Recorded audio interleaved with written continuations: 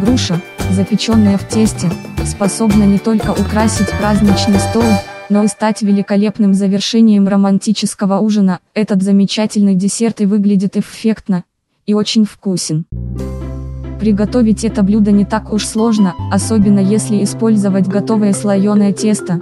Для каждой хозяйки это просто находка. Итак, рецепт приготовления груши, запеченной в тесте, вашему вниманию. Досматриваем ролик до конца и записываем ингредиенты. Груши вымыть и острым ножом очистить от кожицы. Вскипятить воду, добавить в нее сахар и мед, постоянно помешивая довести до полного растворения.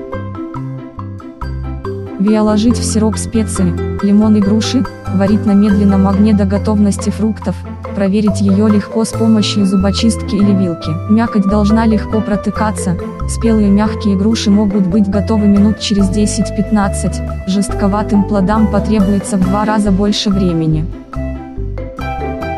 Готовые груши вынуть из сиропа и остудить. Жду ваших лайков и комментариев.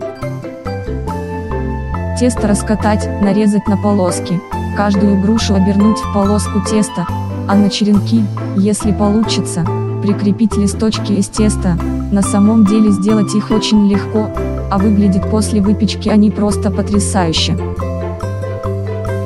Выкладываем груши на застеленный пергаментной бумагой противень и выпекаем при температуре 180-190 с примерно 20 минут, до тех пор, пока тесто не станет золотистым и хрустящим.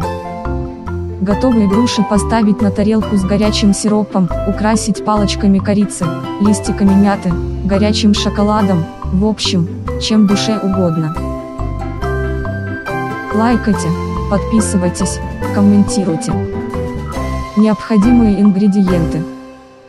Груши твердых сортов, 4 штуки, вода 1 литр, сахар 1 стакан, мед, 0,5 стакана, корица, 2 штуки, тесто слоеное готовое, 0,5 килограмма, лимон, 0,5 штуки, кардамон, по вкусу, количество порций, 4.